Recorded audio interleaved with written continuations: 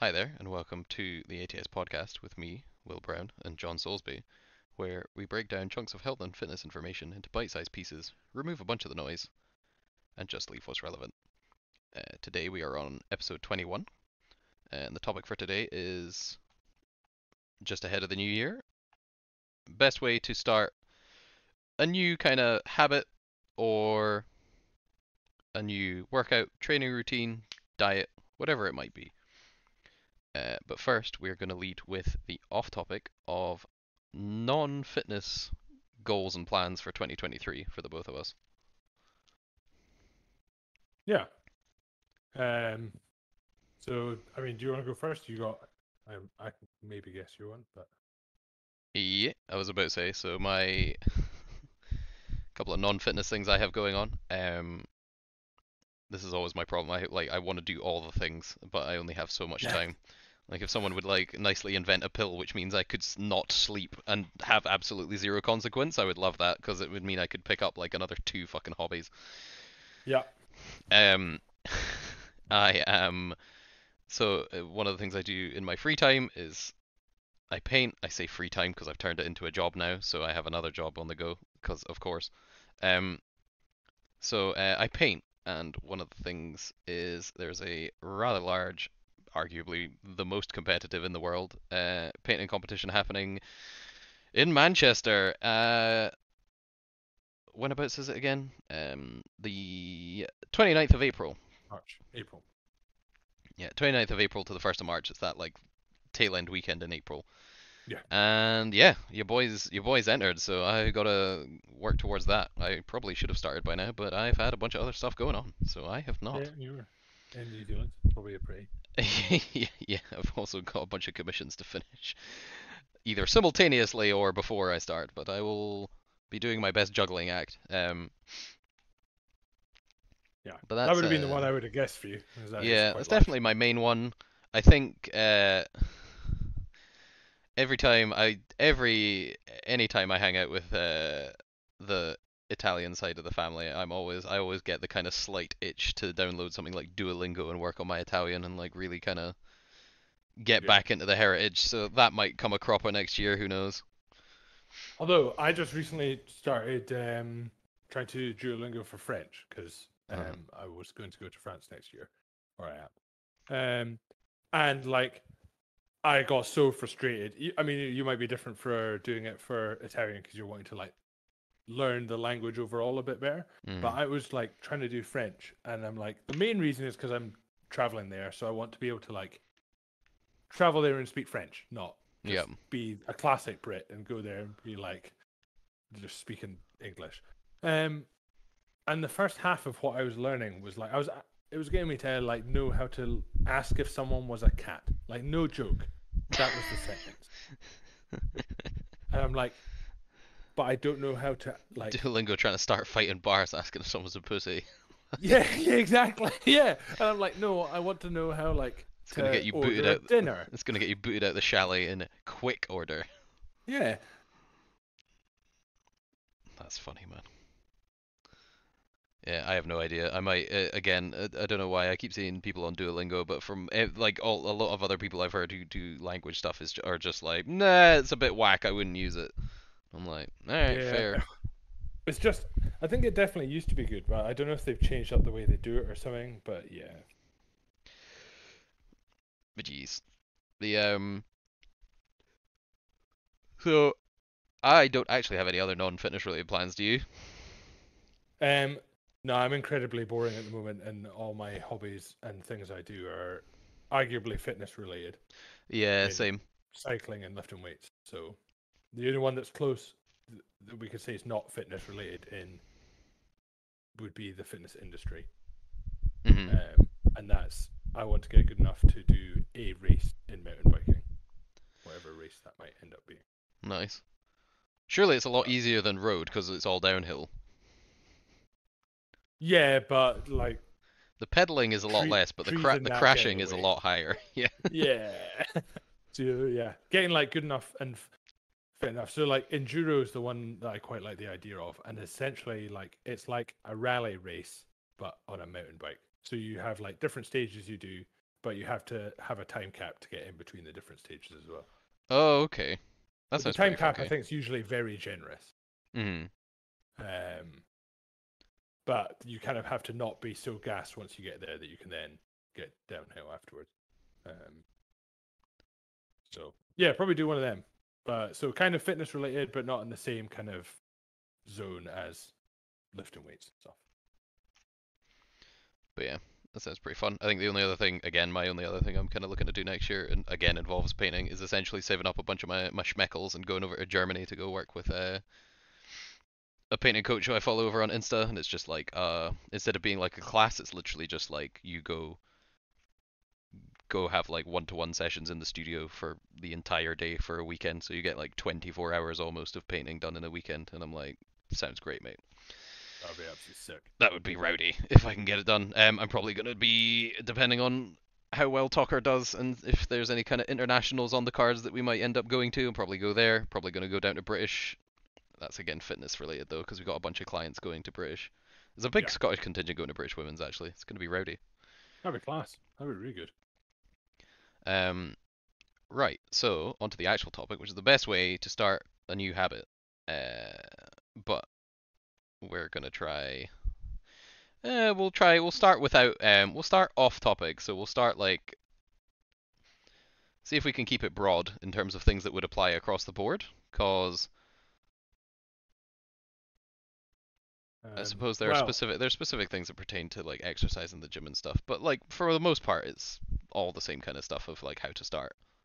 Yeah, I'd say like number well, not number one, but like just start.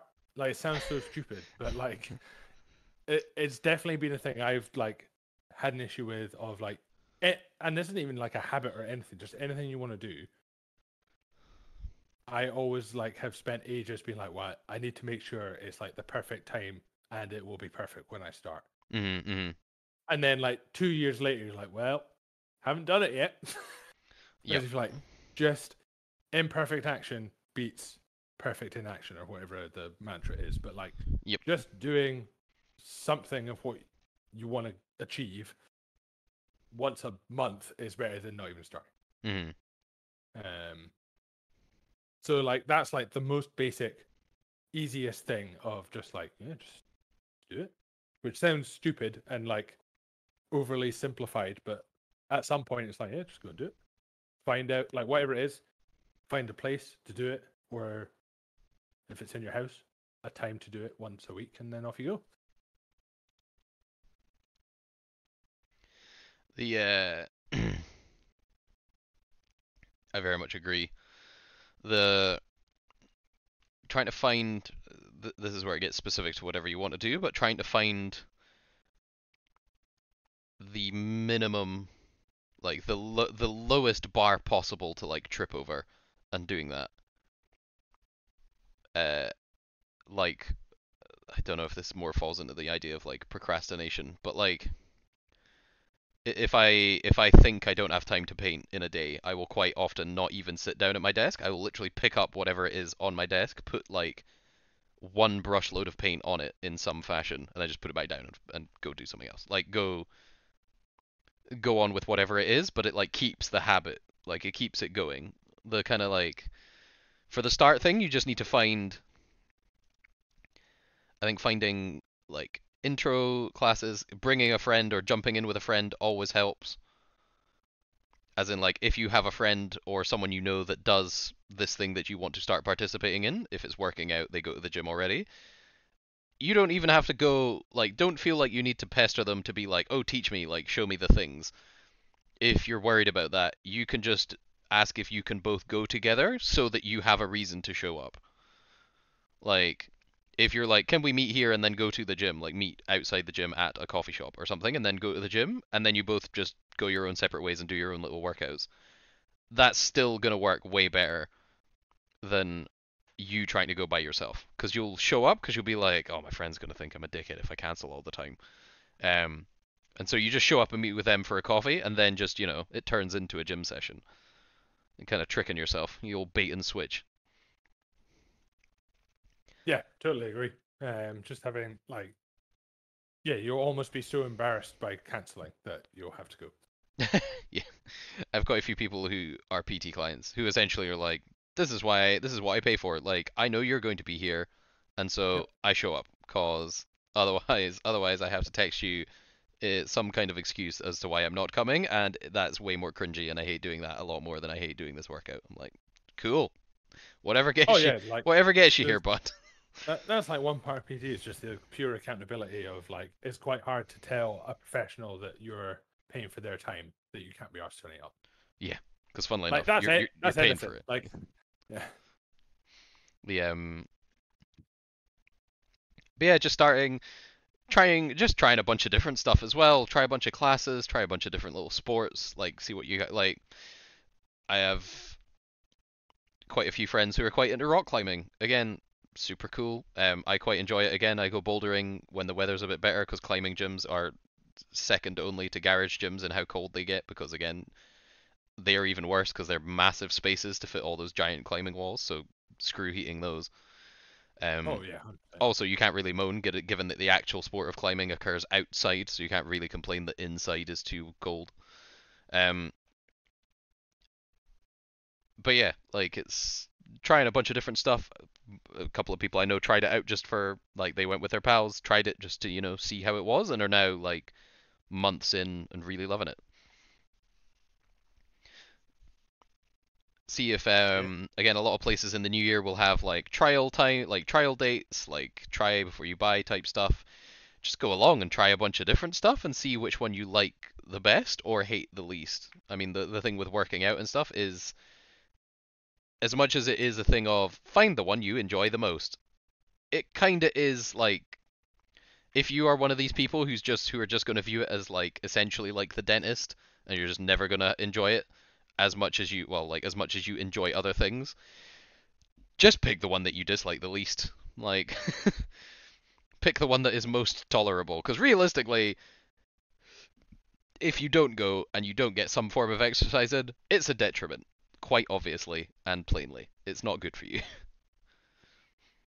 Yeah, totally. I think there, I definitely have one or two that again, the reason that we are paid in that fashion is because the style of exercise we do in our gym is the thing they hate the least exercise wise, and that means they turn up. Yep. Like So it's definitely try and find someone. Social media can be quite good because you can like get a wee idea of like the kind of thing they get up to and the kind of people they are, and find someone that you like and think you might get on with, and get in touch. And they'll be if they're not more than happy to t- chat to you. That's uh, well, they've fallen at the first hurdle, and you move on. Yeah, pretty much. Um, even just finding people you think you would have a laugh with and get on with, just so that when you show up and you're miserable in training and not liking it, you can at least have a laugh. Yep. That's pretty good. Um, yeah, you don't have to. This is this is, this is like a hard line. You don't have to enjoy working out, but you should still do it. like Yes. I don't like doing my tax returns or going to the dentist. However, I still do them because the consequences of not doing them I dislike more. Yeah. And it is very much a case of like you know, finding the most tolerable way of doing things. Like finding like I mean HMRC updating the tax returns and stuff and making it a lot easier to do. Amazing.